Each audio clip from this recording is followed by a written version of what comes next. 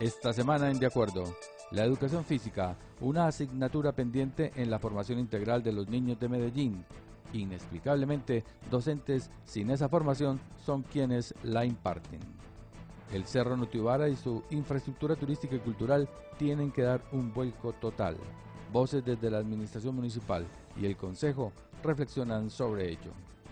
La protección a moradores en el POT y la política pública se debaten entre el avance del modelo de ciudad y los derechos de los residentes afectados. ¿Qué pasará? La cuarta revolución industrial en Medellín debe cambiar sustancialmente los modelos de enseñanza y los imaginarios en los proyectos de vida. De acuerdo, sábado, una de la tarde, por Telemedellín siempre con vos, convoca el Consejo de Medellín.